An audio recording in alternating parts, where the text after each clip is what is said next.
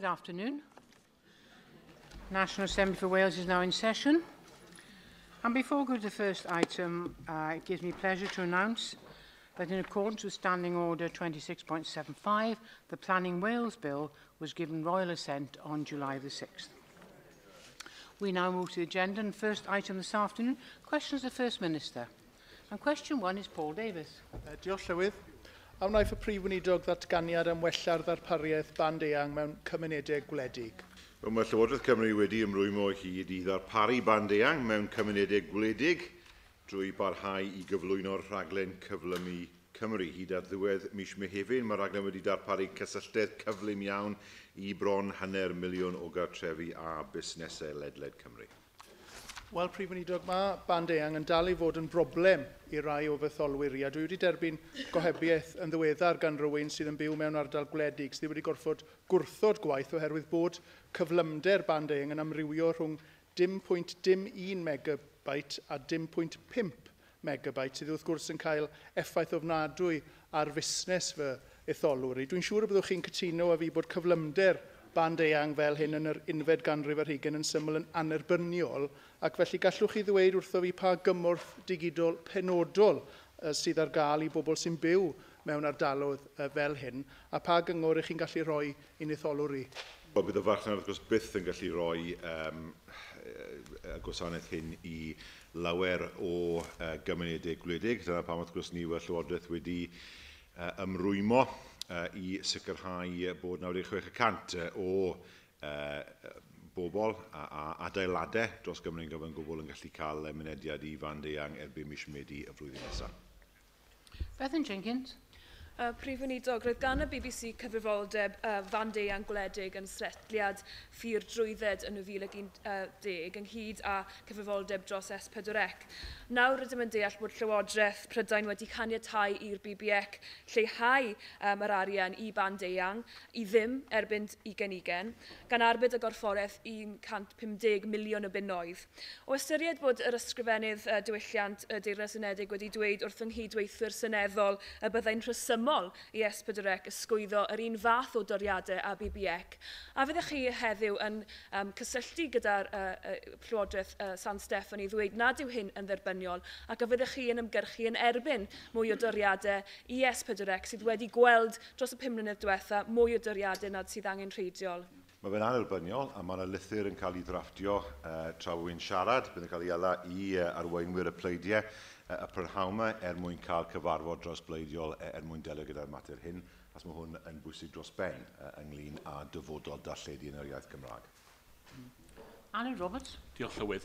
Um, prif weinidog, nid ardalw gwledig yn unig sy'n dioddau o broblemau band eang. Dych chi'n yn ymwybodol, dwi'n siŵr, o broblemau ar parth menter glannau dyfdwy a hefyd y stadi diwydiannol Wrexham. A mae yna raglen gan y Llywodraeth, um, rhaglen mewn lenwi, uh, cam un, sydd yn cael ei dendro ar hyn o bryd yn delio fo 46,000 o safleoedd, ond mi fydd na llawer iawn mwy ar ôl hynny Felly ydy'n fwriad gynnwch chi i gael cam dau o'r rhaglen yna ac erbyn pryd fydd y busnes yma ar e, stadiau diwydiannol sydd ar ôl gallu deud bod nhw'n derbyn gwasanaeth e, derbyniol?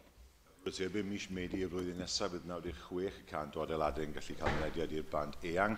Ynglyn â'r hynna sydd ar ôl, uh, bydd rhaid wrth gwrs i, i uh, ystyried ffyrdd eraill o ddatrys i uh, problemau nhw, uh, ond mae hwn yn rhywbeth wrth gwrs sydd yn uh, i ni o flaen uh, gweddill uh, y gymuned uh, Ewropeaidd yn dangos uh, ymrwymiad Llywodraeth Cymru er mwyn sicrhau bod uh, bod yn cael uh, mynediad uh, i fand eang cyflym.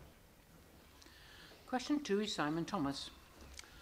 Pa drafodaethau mae Prif Unidog wedi cael gyda Llywodraeth y Dairys Gyfunol ynghylch diddymu cymorthaliadau gyfer datblygiadau yn ei gwynt ar y tir? Wel mae gwneud wedi bod yn hollol clir gyda ysgrifennydd uh, gwladol dros yni bod ni'n erbyn wrth gwrs uh, bydd na uh, siarad o lia rhwng uh, y Llywodraeth y Dyns Unedig a hefyd y Llywodraethau datganoledig uh, ynglyn â phenderfyniadau sydd yn effeithio uh, ni i gyd ym Mhrydain Fawr. Wel, diolch fi Finidog. Mae datblygiad yn yn ei gwynt ar y mynyddoedd yn fy fanbath i yn cyflogi pobl wrth godi y datblygiad yna, yn rhoi prentisiaethau i bobl, er enghraifft yn Llanidloes, ac yn rhoi swyddi yn y cadwyn swyddi ar gyfer cynnal a chadw y, y, y datblygiadau hyn. Nawr, wi ar ddeall bod y Llywodraeth yn San Steffan am dynnu y rocs fe mae'n cael ei alw yn ôl ar gyfer datblygiad y gwynt ar, ar y tir erbyn y flwyddyn nesaf, y e dweud y gwir, a hynny yw gyda nemo trafodaeth am o'n i gyda chi fel Llywodraeth ac yn sicr dim trafodaeth yn y Senedd hon fel Senedd Cymru chwaith. Ydy hwn yn sefyllfa chi'n uh, canfod yn ddibyniol ac ydych chi'n gweld hwn yn erged economaidd i Cemgwlad Cymru? Ddim yn dderbyniol, wrth gwrs i ni wastad fel Llywodraeth wedi uh, dadle y dyle Cymru rheoli uh, y ROCS fel mae'r Alban a Gogledd uh, Iwerddon. Felly mae ar hyn o bryd, mae'n mynd i gael ergyd ar swyddi ergyd ar economi Cymru, a hefyd wrth gwrs ergyd ynglyn â ym mha ffordd oedden ni'n cael ei greu yn y pen draw. Uh, os oes dim yn ei gwynt, mynd i gweud hynny, dim yn ei yn dod o'r hael felly beth ar ôl. Uh, ragor, o, ragor o ffracio, falle, uh, sydd ar yr agenda uh, gan Lywodraeth y Dyna Synedig. Janet Howard. Thank you. Deputy Presiding Officer. No, I'm the Presiding Officer. Sorry. uh, First Minister, I know that you, like me, are a keen supporter of devolution. Therefore, can you explain the rationale of the Welsh Government potentially bringing decisions in-house for wind farm developments between 25 and 50 megawatts, as suggested in the consultation on developments of national significance? In addition, will you provide an assurance that local authorities will continue to have a say in matters which have such an impact on so many people across Wales? Well, uh, if the member speaks to people in Powys, she will know that the people, neither they or nor the local authority nor the Welsh Government have any control over the Mid Wales Conjoint Inquiry. Uh, it's being determined entirely by, uh, by the UK Government uh, using English planning guidance, uh, which is the bizarre scenario that we uh, find ourselves in. Uh, we take the view that where there are developments of national significance, they should be uh, dealt with uh, by Welsh Government. Uh, we believe, of course, that local planning authorities have a very strong role in the planning uh, system, something that is being denied to them in England. William Powell. Diolch, Llywydd. First Minister, given the uh, turbulence that's been unleashed by the announcement on rocks, uh, what can the Welsh Government do ahead of the enactment of the Planning Wales Bill to ensure that uh, live applications currently in the system uh, in local planning authorities across Wales are given urgent attention to give them every prospect of uh, being uh, consented, if appropriate, so as to take advantage of the new uh, timetable? Well, the UK government has said there will be a grace period uh, for applications uh, that on the 18th of June already had planning consent, already had a grid connection and indeed had land rights. We understand there are now plans uh, to say that unless uh, the uh, wind farms are up and running and commissioned by a certain date, then they will be prevented as well. Now, we know in Powys that there are many communities who actually want to have uh, wind uh, power and wind turbines. Some don't, we know that. That choice is now being denied them. Uh, we know there are communities in Powys like Carno who have benefited uh, from uh, their ability to access funds uh, from wind farm developments, they will no longer be able to do so as a result of the UK government's decision. We now have moved to questions to the party leaders. And first this afternoon, leader of the Welsh Liber Liberal Democrats, sorry, Welsh Liberal Democrats, Kirsty Williams. Thank you, Presiding Officer. First Minister, the Social Services and Wellbeing Act swept away nearly every existing law relating to community care, but it did not set out the standards of care that sick elderly and disabled people could expect. Now that you have set out those standards and the regulations to be voted on next week, it's clear that vulnerable people will only be eligible for support if their needs can and can only be met by the local council. Isn't this a green light for local authorities to, to reduce social services support? No, I don't believe that's right. Uh, it shows the uh, uh, duty that we placed on local authorities to provide the kind of care that people would want, uh, and local authorities uh, are aware of the challenge that uh, they face, and I'm sure they'll meet it. First Minister, right now, as we speak, some local councils are already reassessing people's care needs with a re view to reducing support and their excuse is that what they're doing is in line with the government's changes. Now, I'm sure that your government would not want to trigger such a massive shift without having carefully thought through the impact on individuals. So let me ask you, how many people do you estimate will lose their support as a result of these changes? and how many people will no longer be eligible for support once these regulations are passed that would have been eligible su for support under the current system. We do not anticipate that anybody will be in that position. Local authorities must, of course, uh, provide the level of care that people would expect. It has been the case for many, many years, of course, that local authorities uh, will make an assessment at, uh, every year uh, in order to understand what level of care that they would be expected to provide. If you look at case law, for example, uh, local authorities uh, have to uh, have had in the past to outline uh, who they would support, what criteria would be uh, applied, and then if people fit into those criteria, then support and help must be given. What they cannot do is to deny help and support to people once those, once those criteria have been established. Well, I'm well aware, First Minister, how the system works now and how it will work in the future. The crucial element is, of course, as you've just said, if they fit the criteria. And I'm asking you, because I'm sure your government will have wanted to, to do this work, how many people do you anticipate will no longer fit eligibility criteria as a result of those regulations? And do you anticipate a drop in numbers that will be eligible for support under the new system as opposed to the old system? The reality is, if those regulations are passed next week, your government will offload responsibility for care to the voluntary sector, unpaid carers, friends and relatives who are already struggling, already struggling, if they're a voluntary sector to maintain their funding and if they're carers to do what they want to do for their relatives. First Minister, I'm glad that you've said that no one who is currently eligible will lose their support. That actually is very welcome, and I'm sure you'll want to hold local authorities to that next year. But First Minister, really, are you satisfied that your government is allowing local authorities to offload support in this way? No, there's no evidence at all uh, to support what the leader of the Liberal Democrats has said. The objective of the bill and subsequent regulations and guidance uh, is to ensure that uh, local authorities are able to provide the service that people would expect uh, and to ensure, of course, that the, uh, the method by which they provide that service, the criteria they use to provide that service, uh, is more transparent. The objective of the Act is to make sure that people are able to uh, get a better level of support than before, that much is true. There is no evidence to suggest uh, that somehow care is being offloaded to others that would lead to uh, a detriment to members of the public. We now move to Leader of the Opposition, Andrew Archie-Davis. Thank you, uh, Presiding Officer. Uh, First Minister, last week, uh, week in, week out, did a programme on care in North Wales. And in particular, they raised concerns about the Gwanwyn ward uh, in the Hadfan unit in Wrexham Milo Hospital. Uh, and there were 47 allegations. And I use the word allegations because, in fairness, they are unproven. Uh, but your Deputy Minister, Vaughan Gethin, was asked, did he believe that the ward was safe uh, in Wrexham Milo Hospital? And he did not answer that question. Uh, can you confirm that that ward is safe? And more importantly, is it your view that it has been safe in the past, given that these 47 allegations uh, have been made? Yes, we have spot checks in place now uh, that uh, examine uh, facilities such as these. Uh, they have uh, not identified serious concerns in any facility across Wales. Uh, and one thing that has to be said is there have been no allegations, no allegations of any assaults by staff on patients. Uh, the BBC we did not make that clear last week. I make it clear now that was, that has never been the case.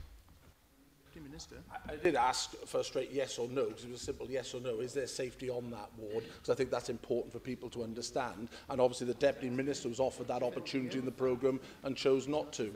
That programme, along with many reports that have come forward, such as the Trusted to Care report in the Princess of Wales Hospital by Professor Julie, June Andrews, uh, the report that came out last week in the independent inquiry into Cardiff and Vale into A&E services, the survey by the BMA, the targeted intervention at Betsy Cadwaladr undertaken by Anne Lloyd. Uh, this gives a, a general direction of travel of report after report, showing that there have been serious faults in many aspects of delivery of the NHS in Wales, Two years ago, I asked you whether your government would commission a Keogh-style inquiry. You have said to me the reason why you would not commission such a Keogh-style inquiry is because it would cost too much. Yet all these reports and all the revelations over the last two years clearly show that a Keogh-style report would have got in under the skin of many of these issues, given you, the government, the recommendations to deal with, and people could have had confidence restored.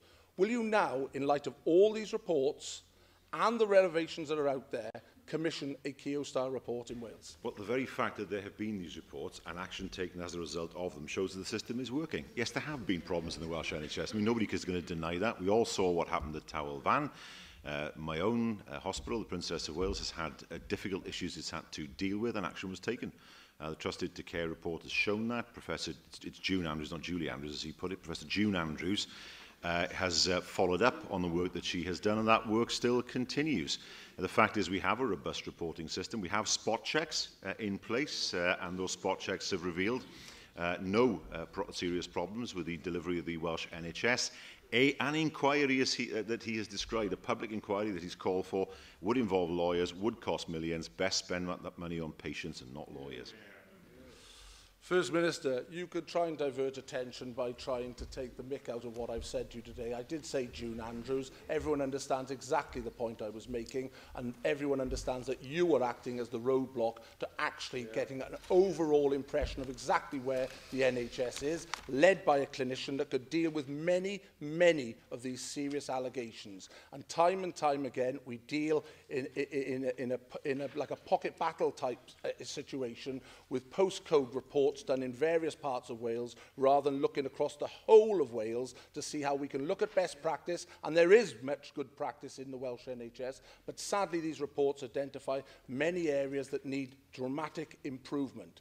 I also called for a duty of candour to be brought forward some two years ago. That is in the Green Paper. You could bring that forward now, if you so chose as a government, rather than have it in a Green Paper that will not see the light of day this side of the Assembly election. Why, why First Minister, do you constantly stop making these uh, improvements in the Welsh NHS that could give confidence to people, whether they're patients or clinicians working in our NHS. We need a Keogh-style inquiry. We need a duty of candour. I've asked for two years for that. Why won't you grant it? Uh, there is no need for a Keogh-style inquiry. We already have the reports that have been mentioned. They have done their job. Uh, they have dealt with situations as they have arisen and spot checks have been put in place to ensure they don't arise in the future. But I have to say to the Leader of the Opposition, he, he stands here and asks questions about health.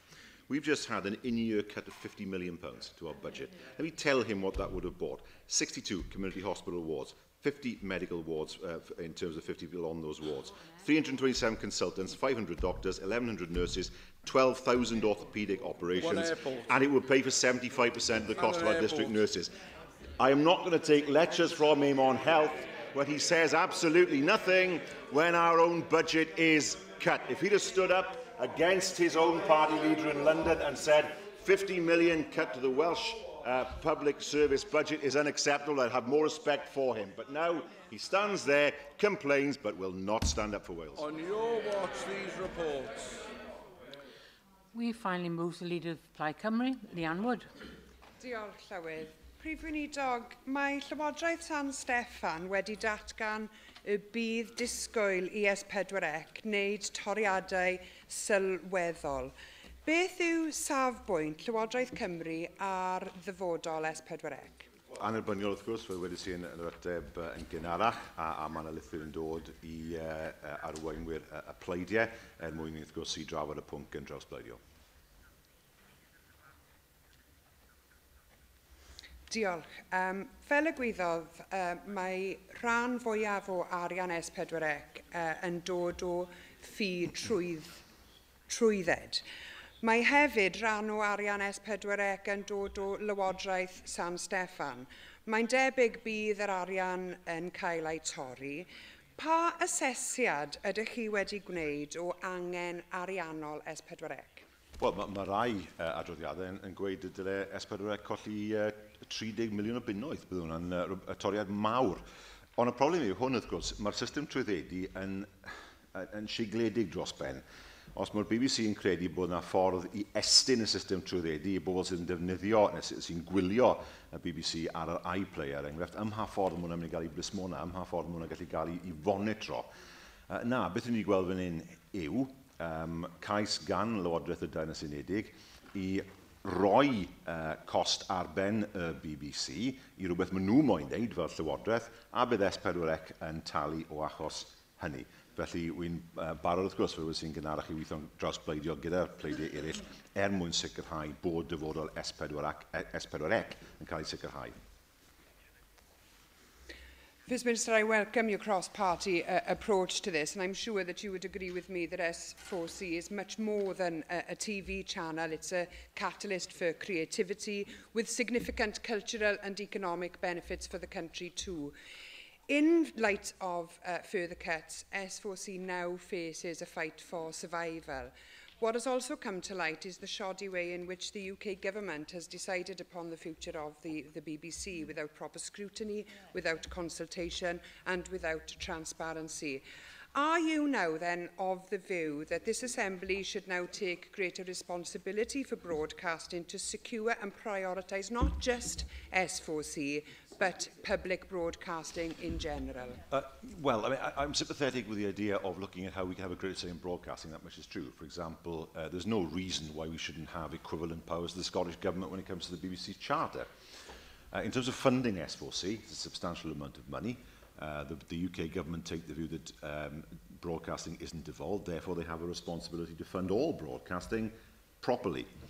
I, I can't quite understand the BBC's thinking uh, in taking on board a 650 million pound burden for someone else's policy uh, and in some way you extending the uh, license system to pay for it. We all know that the license system is becoming more and more difficult to collect because more and more people are watching uh, BBC programmes on uh, electronic devices. Uh, how do you monitor that? How do you, how do you uh, police that? It's very, very difficult. The license model is becoming more and more difficult uh, to uh, see how, it, how that will work in the future. And that, of course, then imperils the future of S4C. But this is typical when Jeremy Hunt was the Culture Secretary. He had no real idea of what he wanted to do with, with S4C. I met him and it was fairly clear that they hadn't thought very, very strongly about it. It's the same this time around. It's about time the Welsh language was not seen as an afterthought by the UK government. We now move back to questions on the paper and question three is Christine Chapman. Thank you, uh, Presiding Officer. Uh, what consideration has the Welsh Government given to the effects on child poverty levels in Wales of welfare system changes brought in by the UK Government? Well, analysis by the Institute of Fiscal Studies on the impact of the uh, changes in Wales suggests that it is those around the poverty line, and particularly those with children uh, who are expected to see the largest income losses, and that is bound to impact negatively on child poverty. Thank you. Uh, you will be aware, First Minister, of the call by uh, the four UK Children's Commissioners, including uh, Welsh Commissioner Sally Holland uh, for the UK government to think again and cancel its policy of savage welfare cuts as they rightly recognise the, the devastating impact these have had on children and young people, including here in Wales. Uh, the Commissioners say that any changes should not impact on particular groups such as disabled children or children from single parent families or larger families. How can the Welsh Government uh, best protect uh, these vulnerable children from the worst effects of UK government changes? Well, there are two points here. The member asked what we can we do to help people. We have communities first, families first, of course, and flying uh, start. Uh, and we know that through the evaluation report on families uh, first that um, that has led to improvements in people's uh, situations and indeed uh, help to mitigate child poverty. But we know that the UK government will abolish child poverty because they're just going to change the definition of it. That's, that's what the, uh, the plan is. It's as, uh, it's as obvious as, as that. Last night, I was talking to somebody who works hard, who does have in-work benefits, who's going to lose them. And she said to me, why am I being targeted in this way? We used to say to people, if you get a job, then your income will improve, your financial situation will improve. That's no longer the case. What the Prime Minister has done is say, We're not going to help people who are in work by helping them with benefits. Uh, we're going to plead with employers to, to pay a living wage, and if that doesn't happen, tough luck. Typical service. Mark, you should across the UK, the proportion of children uh, living in low-income households is at its lowest level since the 1980s. But in Wales, of course, your government's responsible for tackling uh, poverty. Why do you think it is that child poverty in Wales is at highest level amongst the UK nations? And why is it falling at only half the rate in England and Scotland? It, it, it's incredible. He doesn't even attempt to defend his own party's policy. Uh, the reality is there is an attack on housing benefit, an attack on hard-working people. That's what they're doing, attacking hard-working people by removing their incomes, attacking people who've worked hard. I mean, in England now, they're going to say to people, if you have two people in a household and you earn £15,000 a year each, you know, below the average salary, we're going to penalise you with your rent. Yeah. You know, a tax on aspiration. Yeah. So it has that carries the uh, the resonance of people having to know their place. Well, we on this side of the chamber believe that people should have opportunity, people should have the chance to make sure that they can develop themselves to their, their best potential, and we will not tax people for their aspiration as the Tories want to do. 16 years of failure. First Minister, I think the, uh, the greatest divide between um, the, the people on these benches here and the Tories is the way we actually tackle child poverty. Um, with the Tories, it goes up even when they try to define what child poverty is. The, the figures are rising, and we've seen that now. I was therefore very surprised to hear Helen Mary Jones make a comment recently. I know she's reflected on it since, but she made a comment saying her best political moment was when Neil Kinnock lost the 1992 election to see his face then. That actually put more more children into poverty for those remaining years that that Tory government stayed in power And that's the reality of what we do. So, so do you agree with me that there are more children now facing the poverty and we hold our breath tomorrow, but we don't, we don't hold out any hope that this mm-hmm. present UK Tory government will actually address the issues that many of the families that we're trying to represent well, will it was face very odd, from their cuts. It was a very odd comment uh, by Helen Mary uh, Jones. I know that Plaid Cymru have claims to be a left of centre party. I don't know how it is that by celebrating the election of a right-wing government in 1992, that claim is actually supported or bolstered. Question four, Gwenda Thomas. Diolch Llywydd. Uh, what discussions has the Welsh Government had with the UK Government regarding the current European financial situation? Well, we regularly discuss a range of issues with the UK Government, including the current developments within the European Union. I think it's right to say we all hope that uh, European leaders can reach a deal that will put Greece back on the right course. It's important not just for the Eurozone, but for Britain as well. Thank you, First Minister. Uh, and and uh, as you've shown, I'm not alone in this chamber in hoping that following Sunday's referendum in Greece, a fair, just and sustainable solution to the Greek debt crisis can now be found. Unfortunately, in the interim, the situation in Greece and the continuing uncertainty surrounding the future of the euro will almost certainly take its toll on European markets. In the last financial year, the value of exports from Wales to the European Union was around 6.5 billion. Given this, First Minister, can you outline what measures the Westminster Government is putting in place to assist Welsh companies that may be facing cash flow difficulties as a result of the current troubles? Well, I mean, first of all, uh, we all hope to see a solution to the crisis. Uh, I think there's a, a level of reality that's needed on both sides. Uh, I think from the Greek point of view, uh, shouting at people whose money you want is not a wise uh, uh, tactic. On the side of the ECB, I think it has to be recognised, for example, that the people of Greece work more hours. I think it's right to say that they are the second highest uh, number of hours worked in the world uh, in terms of developed countries. So they, you know, we're talking about people who work very hard and have seen their incomes hit year after year after year, and that has to be recognised. So I hope that there is a level of compromise that's reached between the uh, two sides. Uh, I can say, in terms of businesses uh, working in Greece or exporting to Greece, Uh, BIS and the Treasury have issued guidance for business on temporary capital controls that are in place in Greece. Where Welsh businesses believe they may be at risk from the Greek capital controls, they should contact the business debt line for advice on cash flow uh, that's available on the gov.uk uh, website. But I can say that total exports uh, to Greece represent under 1% of total Welsh exports. Uh, so there will be some businesses, of course, who will be uh, affected. Uh, but in terms of the overall impact on Welsh uh, exports, that at the moment is small. But the effect on Wales and on Britain of a Greek default and a Greek exit from the euro are uh, significant. William Graham. Fighting officer. Uh, First Minister, what advice would you give to Welsh tourists going to Greece other than to take a lot of cash with them? It appears that the systems there are about to break down even further.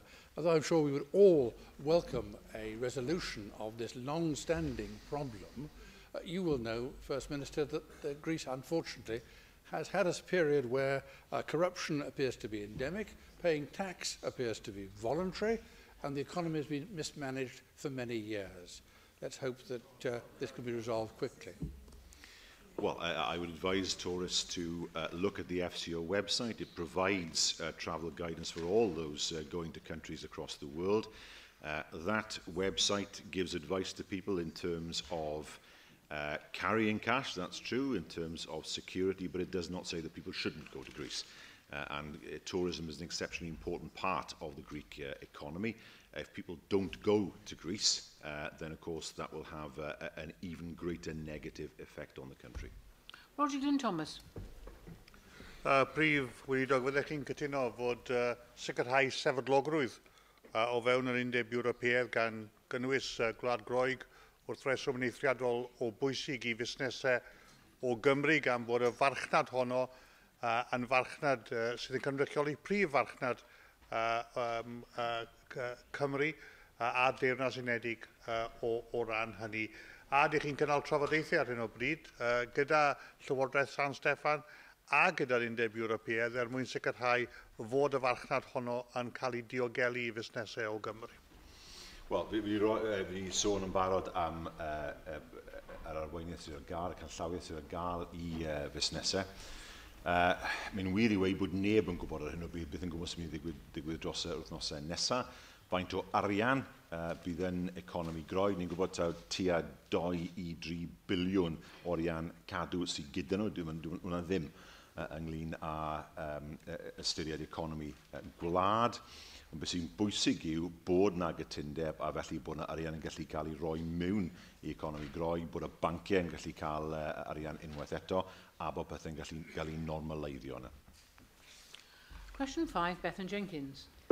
Will the First Minister make a statement on the impl implementation of the Trusted to Care report? Yes, an extensive programme of work has been undertaken at a local and national level to address the concerns raised – within the Trusted to Care report, and we will be publishing a report in the early autumn setting out what's been done, which is leading to improved quality of care.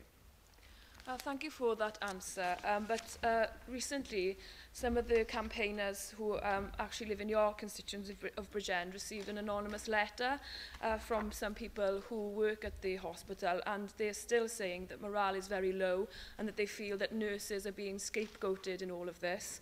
They say the board has appointed six new nurse directors, six medical directors and six unit directors on salaries of up to £100,000 and those promoted to these positions include middle management in charge of the wards that, prom that prompted this particular Andrews review. Now First Minister, this doesn't really reflect to me that things are changing as fast as they need to um, in uh, the ABMU area. So what are you doing in your leadership capacity to make sure that changes are happening monitoring and not just spot checks uh, uh, are being administered? What more are you doing, no, First Minister? I can say that the Trusted to Care report has the support and confidence of the vast majority of my constituents, that I can say.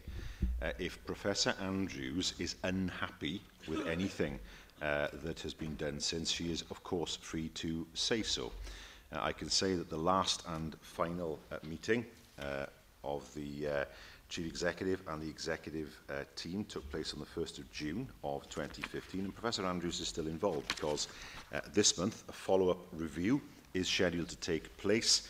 Uh, Professor Andrews will be, will be there and we await of course the outcome of that review. Uh, if the um, allegations in the anonymous letter are true then we would of course expect Professor Andrews to refer to that. David Rees the Llywydd. Well, First Minister last month actually attended a briefing for all AMs in our region on the work undertaken by, AB, by ABMU in relation to the Andrews report and actually was pleased to see the progress that was being reported and in the recommendations of that report relating to ABMU. And I'm, as you said now, I'm aware Professor Andrews is actually returning this month. In fact, I think she's actually there this week on a follow-up work. Now, I will also await the outcome of that follow-up assessment and her views on the progress being made. However, there are four recommendations to the Welsh Government in that report. Uh, you've indicated briefly, Eugen, uh, indicated you will make a, a statement or report later in this year. But what actions have been taken on these to date, and when will we receive the update from Minister on that report to, and the actions taken on those recommendations specific?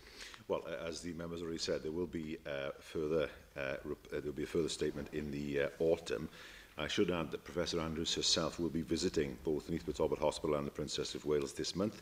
She will be speaking to clinical staff, to managers, to board members as well as others and it's entirely a matter for her to determine who she speaks to. Uh, she's not under any instruction of, of any kind. The whole point uh, of the report was to provide uh, an independent and objective uh, assessment and that's precisely what Professor Andrews has done. Darren Miller. Presiding Officer. First Minister, one of the problems identified in the Trusted to Care report and indeed the recent report into the problems at the Towel Van Unit was that complaints uh, were often being made but not properly being uh, addressed by the uh, individual health boards concerned and very often there was no learning uh, from complaints once they had been uh, upheld what action are you taking as a government to ensure that there is learning from the complaints uh, system and not just complaints made by uh, patients and their families but also by members of staff who are often discouraged from making complaints for fear of retribution by managers? Well, of course, the whistleblowing uh, procedures are in place, but I, I can offer evidence of what's happened in terms of complaints. He, he is right. He won't hear that often from me, but he is right uh, to say that there was a severe problem with the dealing of complaints at the Princess of Wales Hospital. There were, I understand, some 200 complaints that were literally uh, sitting on a desk. The new complaints manager came in and visited, I understand, personally each and every one of the people who had made complaints uh, in order to apologise to them and take those complaints uh, forward. Uh, something I very much uh, welcome. And so people should be treated uh, when the system has not worked as they should expect. But as a result, of course, of Trusted to Care, in fact, before Trusted to Care was actually uh, commissioned, uh, work was uh, carried out to make sure that complaints were dealt with in a timely and thorough fashion, and that's been done with a new team that's in place at the hospital. Peter Black. Thank you, uh, Presiding Officer. First Minister, I noted that the number of complaints in ABMU has in fact reduced quite significantly and that's very welcome. And like David Rees, I was also at the briefing um, on what the implica implication, implica implementation of trusted to care in, in um, ABMU. Um, there is, though, a lot of concern about the appointment of these senior management posts, as Bethan Jenkins has outlined.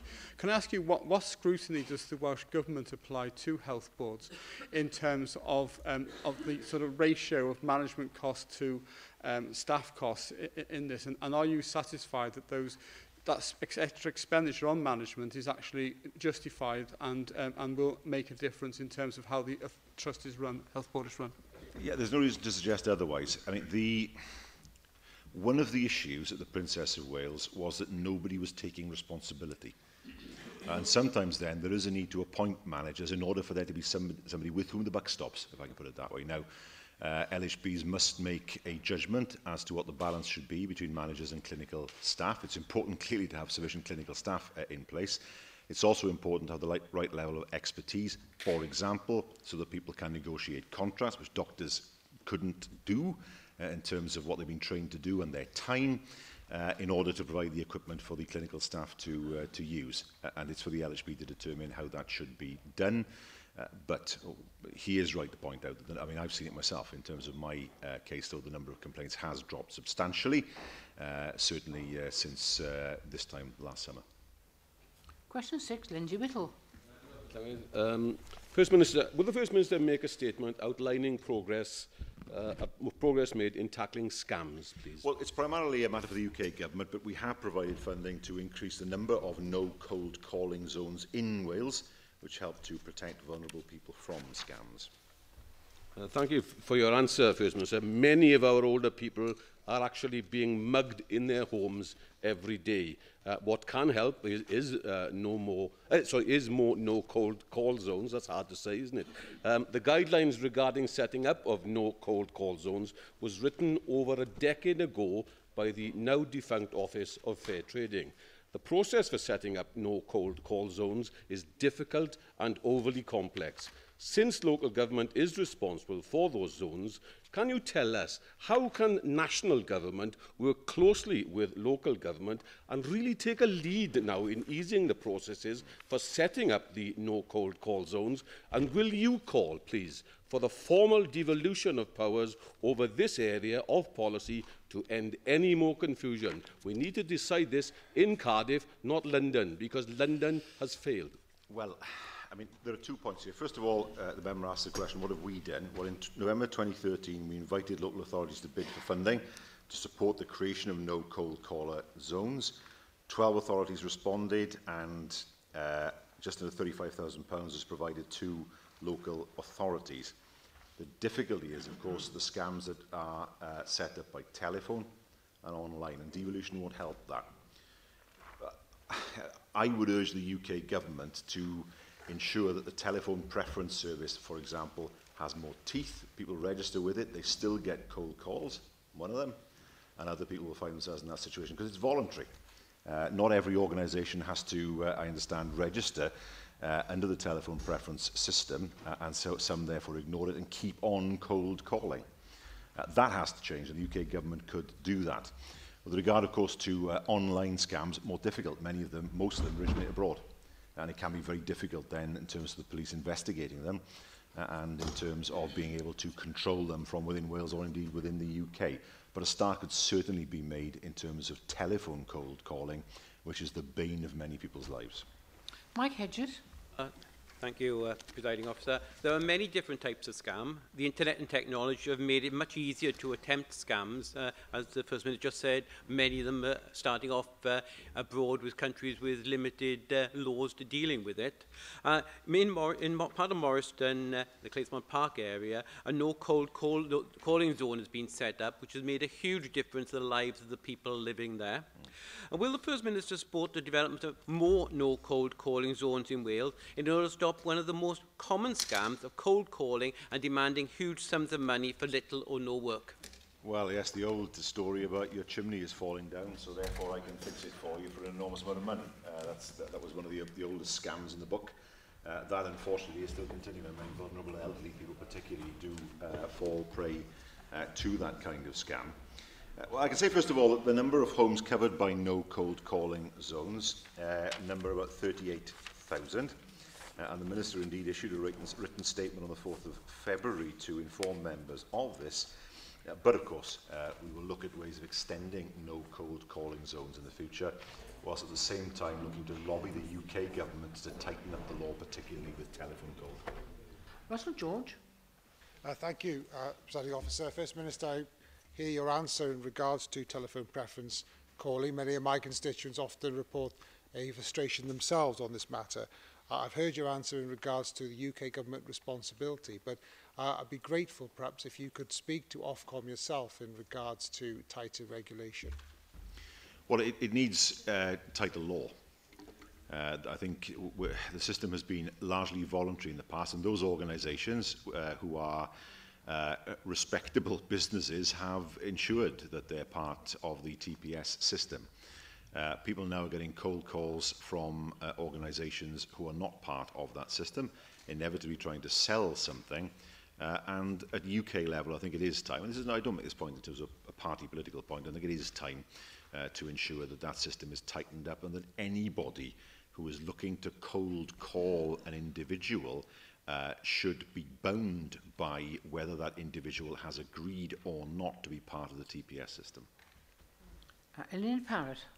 Your Llywydd. Uh, First Minister, one scam that is uh, perpetrated by cold callers is the distraction burglary. And one community that's been particularly badly affected by this in my region over the last few years is the Asian community who have been targeted um, but for burglaries of uh, gold jewellery. I'm wondering if um, we can encourage local authorities to be um, broader in their description of what a vulnerable community actually is and not just assume that only people who are elderly could possibly be vulnerable, that actually a community that is being specifically targeted um, can also be considered vulnerable as well. Well, it, it's a matter for the police and crime commissioners, uh, I, I would argue. They have responsibility for crime prevention in their areas uh, and they should be working with local authorities in order to uh, run uh, awareness weeks. I've seen it happen in Bridgend, my own part of the world, to inform people of the uh, the dangers. I know, for example, that David Powis uh, police ran a week of or ran a week of action uh, in line with the National Week of Action for Cybercrime in March of this year. Uh, they, along with Gwent and South Wales, have also introduced digital media investigation officers to increase awareness and identification of online scams. So we have examples of the police understanding uh, the challenge of dealing with crime uh, of this uh, sort. Uh, and of course, it's a matter for the police to run awareness of distraction burglary as well, uh, working with local authorities and with the police and crime commissioners. Darren Miller. Officer. Uh, First Minister, one of the uh, issues which have been raised by uh, my constituents is that the telephone preference uh, service, the opt-out uh, within that, does not apply to government surveys. And I've been alarmed at the number of individuals uh, in North Wales who are being contacted by government agencies undertaking surveys and the impact that that's having on them uh, in their homes. What, do, what action do you take to, uh, do you intend to take to address that intrusion, particularly in respect of Welsh government surveys? Well, it's a reasonable point. I mean, I would, I would hope that government surveys of any kind are not seen as a scam uh, in, in, in that sense. Uh, but um, there are some people who don't wish to be contacted at yeah. all. We, we've all, I'm sure, in this chamber uh, stood upon a doorstep with a dilemma of whether to knock the door, where there is a sign saying no cold callers, please, yeah. and whether that applies to political canvassers. And, and we soon know if we knock the door uh, what the response is of that individual as to whether we should have taken notice of it or, or not. I think it's time to, to look uh, very carefully across the board at it's fair, public sector and private sector, uh, in terms of people being able to have a reliable service that they can opt out of, and perhaps options within that opt-out. In other words, are you happy to be contacted by government surveys of any description, but you don't want to be contacted by anybody selling you something? Uh, I think there's perfect scope there to change the law in order to provide that level of flexibility. Question 7, Julie Morgan. Officer, what plans does the Welsh Government have to improve the lives of kidney patients in Wales? Well, we continue to invest in improved services for kidney patients, including increasing capacity and modernising facilities for dialysis across Wales. And of course, we're taking action to increase the number of transplants, including introducing a new system of consent for organ donation from the 1st of December. Thank you. Um, on Friday, I was very pleased to host a coffee morning in the new theatre in Cardiff along with Jenny um, Rathbone in support of the Welsh Kidney Patients Association. And one of the key issues they brought to us was the strain of having dialysis, and particularly if you have to have it in hospital rather than at home. So I wondered if the First Minister knew if there were any plans um, to extend um, the scheme run by Morriston um, hospital in Swansea, in Mike Hedges' constituency, which is teaching uh, patients not only to have dialysis at home, but also to have dialysis in their sleep, which is obviously much less stress um, on them in their daily lives. Uh, that's true. The renal unit at Morriston has developed a home nocturnal hemodialysis service. It is the first of its kind uh, in Wales, and it is far less stressful uh, and indeed more convenient for uh, patients. Uh, it has been piloted. Uh, it is, uh, we are now looking to roll this out nationally to make sure that more patients can take advantage of this. Question 8, Mohammed Ashgar. Presiding officer, what action is the Welsh Government taking to tackle meningitis in Wales, please? Well, meningitis and meningococcal diseases under constant surveillance to identify trends and to evaluate prevention and control measures and evidence-based immunisation programmes are in place and kept under review. Thank you for the reply, First Minister.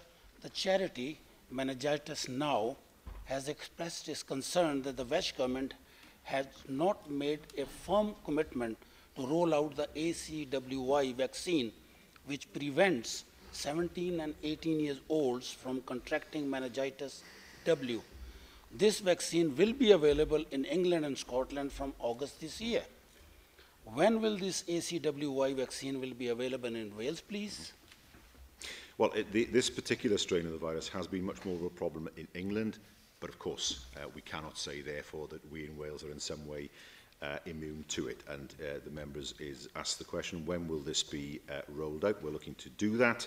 Uh, the next step is to agree payments per vaccination with GPs uh, in order that this service can then be um, uh, examined uh, and rolled out across Wales. Thank you, First Minister.